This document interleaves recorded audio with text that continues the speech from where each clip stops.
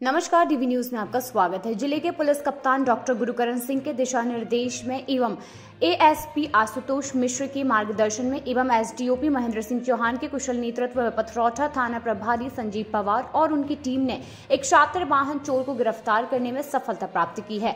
बता दें, तत्संबंध में बताया गया है कि ग्यारह मुखी हनुमान मंदिर के पास N H forty six line पर वाहन चेकिंग के दौरान एक व्यक्ति बिना नंबर की मोटरसाइकिल लिए तेज़ी से चल था, जिसे रोकने का प्रयास किया गया। पुलिस टीम ने बड़ी ही तेज़ी से उसका पीछा करने का प्रयास किया। वह नहीं रुका, जिसको आगे लगे पुलिस स्टाफ द्वारा रोका गया।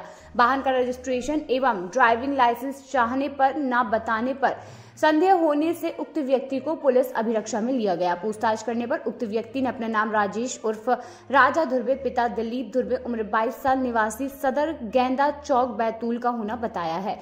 तथा कब्जे में लिए हुए लाल, काले रंग की एच एफ़ डीलक्स मोटरसाइकिल की चोरी की होना भी बताया गया।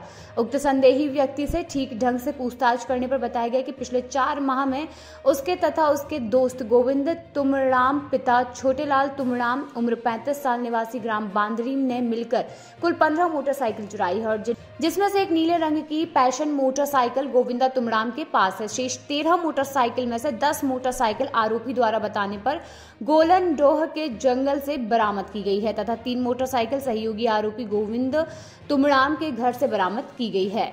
बताते चले, आरोपी का सहयोगी गोविंद तुमराम अभी फरार है, जिसकी तलाश जारी है। इटासी पथरौटा से अरुण कश्यप की खास रिपोर्ट और भी खास जानकारी के लिए जुड़े रहिए डीवी न्यूज़ के साथ।